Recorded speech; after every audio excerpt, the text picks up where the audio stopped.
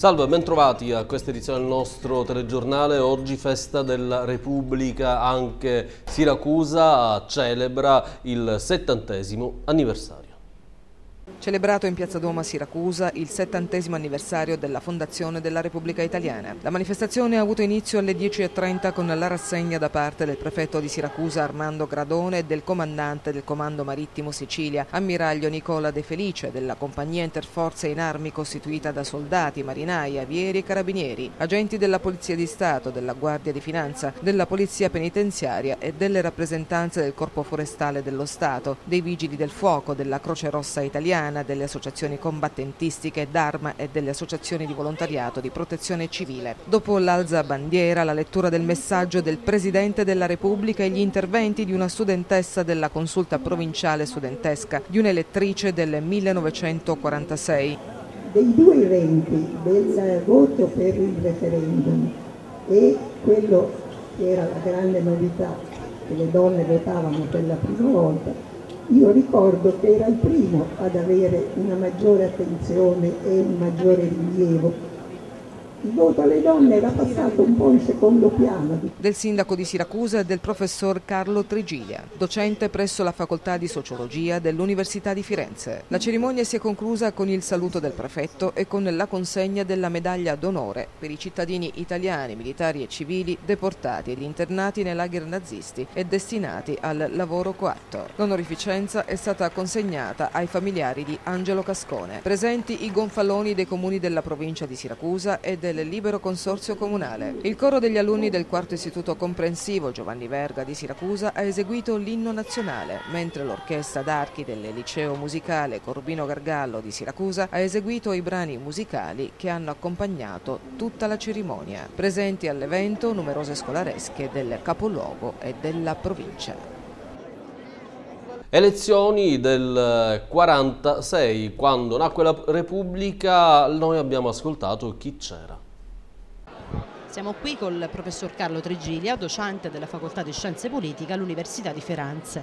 Siracusano di nascita, fiorentino di adozione e qui a festeggiare con noi i 70 anni della Repubblica Italiana, della Fondazione. Sì, sono stato molto contento di essere stato invitato a festeggiare, a ricordare la festa della Repubblica qui a Siracusa che è la mia città natale dove mh, torno sempre volentieri diciamo. E quindi eh, ho partecipato con grande piacere a questa manifestazione cercando di, così, di suggerire qualche spunto sull'importanza di questa festa. E come dicevo spesso le feste le diamo per scontate, cioè ci dimentichiamo di che cosa c'era all'origine di queste feste e invece è molto importante ricordare il passaggio che questa festa ci sollecita a ricordare, e cioè l'introduzione della Repubblica nel nostro ordinamento e l'approvazione della Costituzione repubblicana che è strettamente legata alla festa della Repubblica. Questo ci ha garantito decenni di progressi non solo economici ma anche dal punto di vista delle libertà fondamentali che oggi non sono affatto scontate in tante parti del mondo. Siamo presenti con l'ammiraglio del comando marittimo della Sicilia. Sì, è un impegno continuo che eh, ci premia per il fatto che riconosciamo anche qui a Siracusa una, una parte della comunità italiana rappresentata eh, in maniera adeguata. Le forze armate sono eh, come sempre in, pieno, in piena eh, attività, in particolare la Marina Militare è coinvolta, come sapete, nel, nella salvaguardia della vita umana in mare, soprattutto nel canale di Sicilia, vede continuamente un sforzo profuso per salvaguardare eh, purtroppo le vicende che ci coinvolgono. E intanto cent'anni fa moriva Cesare Battisti, redentista, eroe, poi morto tragicamente impiccato. Siracusa all'uomo ha dedicato una piazza ma anche una statua. Cent'anni dalla morte di Cesare Battisti, politico irredentista, uomo di cultura, cittadino austriaco durante la Grande Guerra, combatté però nell'esercito italiano. Fu processato e impiccato per alto tradimento in quanto deputato austriaco. Battisti fu propagandista e sostenitore dell'intervento italiano contro l'impero austro-ungarico, tenendo comizi nelle maggiori città italiane. Accusato di tradimento, fu impiccato il 12 luglio del 1916. Siracusa gli ha già dedicato una piazza e una statua che ne ricordano le gesta. L'Associazione Culturale Lambadoria di Siracusa, nel centenario dell'impiccagione di Cesare Battisti, inizia gli eventi storici in suo ricordo. Oggi ci troviamo, assieme anche all'Associazione Nazionale di, di, Mutilati e Invalidi di Guerra di Siracusa, a ricordare questa figura eroica irredentista. Anche c'è la partecipazione delle scuole come il liceo scientifico, eh, qui rappresentata da una sua classe con il nostro professore Baronessa, liceo delle scienze umane e c'è anche la partecipazione degli studenti. Eh, perché è importante ricordare nel centenario dell'impiccagione questo nostro eroe italiano, irredentista, eh, impiccato dagli austriaci il 12 luglio del 1916. Inizieranno altre iniziative sempre a Siracusa, tra cui una cerimonia vera e propria al monumento di Cesare Battisti a Ortigia, che purtroppo è in degrado perché lo conosciamo tutti, e così oggi eh, apriamo queste iniziative. Le strade siracusane mietono un'altra vittima. Si è spenta, infatti, nella tarda serata di ieri la vita di un centauro di Portopalo. Marco Corallo, 28 anni, si trovava in sella alla sua Yamaha R6. È morto a seguito delle gravi lesioni riportate nel sinistro in cui è stato coinvolto. Inutile il suo ricovero all'ospedale di Maria di Avola. L'incidente si è verificato alle 19 in via Vittorio Emanuele a Portopalo. Corallo, per causa del vaglio dei vigili urbani, si è scontrato contro un'auto che procedeva in senso inverso. La vittima lavorava con il padre, titolare di un'officina di elettrauto. Il sindaco Giuseppe Mirarchi ha proclamato il lutto cittadino per la giornata odierna e anche per quella di funerale, annullando le cerimonie, eh, sia quelle di oggi per la festa della Repubblica che lo spettacolo musicale previsto per sabato prossimo. Un fenomeno drammatico che non accenna a terminare, quello dell'immigrazione, allora il sindacato, il SIULP della polizia chiede soluzioni per gestirlo.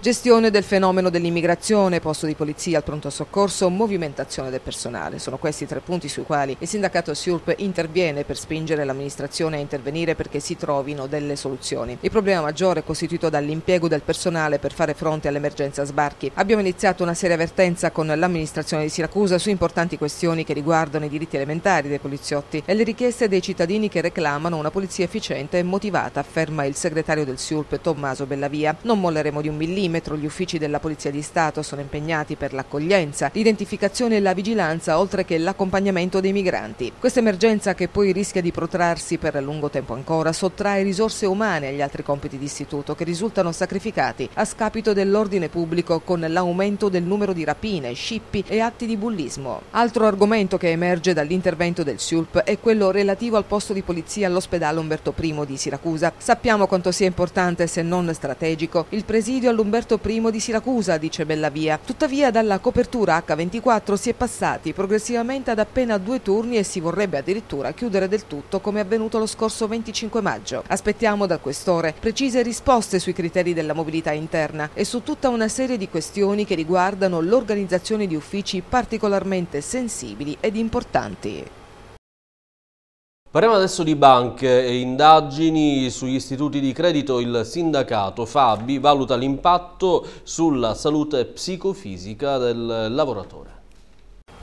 I piani industriali, le fusioni, le aggregazioni, gli esodi, i fallimenti, la flessibilità estrema nelle mansioni rappresentano termini che incidono sulle condizioni di vita, di lavoro e di impatto sociale del bancario. Il lavoratore del credito è stretto tra l'incudine di un management sempre più schiacciante nelle pressioni commerciali sulle reti di vendita ed il martello costituito da una clientela sempre più esigente ma anche pronta alla denuncia civile e penale. In caso di presunti torti subiti, infatti, il cliente promuove azioni legali direttamente contro il lavoratore lavoratore bancario piuttosto che nei confronti dei vertici aziendali. La tutela normativa delle lavoratori sottoposte a queste pressioni psicofisiche e commerciali passa anche attraverso la valutazione del rischio di stress lavoro. Il sindacato Fabi, principale organizzatore sindacale del settore credito a Siracusa, per lottare ogni forma di abuso ai danni dei lavoratori, sta elaborando un'indagine tra i lavoratori denominata Lavora serenamente, proprio per valutare l'impatto sulla salute psicofisica dello stress da lavoro nelle difficili condizioni attuali. Questa indagine, dichiara il coordinatore provinciale della Fabi, Gaetano Motta, avrà anche una funzione di prevenzione rispetto agli effetti sulla psiche che potrebbero derivare da situazioni di maggiore ansia e stress legate alle dinamiche professionali. Ad indagine conclusa ci riserviamo di comunicarne i risultati.